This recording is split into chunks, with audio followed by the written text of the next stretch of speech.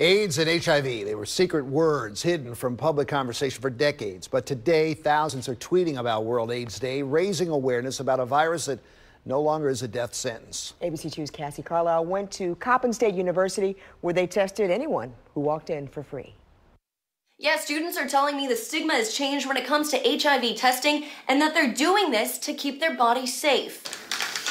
HIV and AIDS. The words and virus go hand in hand. At Coppin State University, students and faculty are working to ensure education comes with it. Last year, we got close, we got almost close to 100 students uh, and community members. History of STDs. Uh, uh.